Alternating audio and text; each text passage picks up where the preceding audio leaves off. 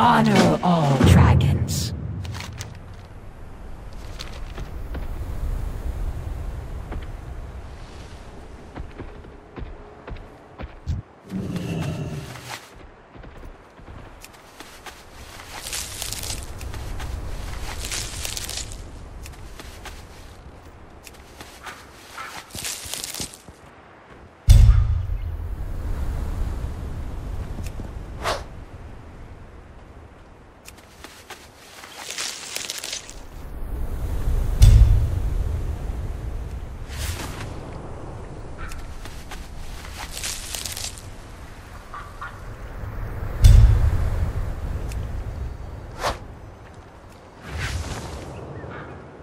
I never gave up hope.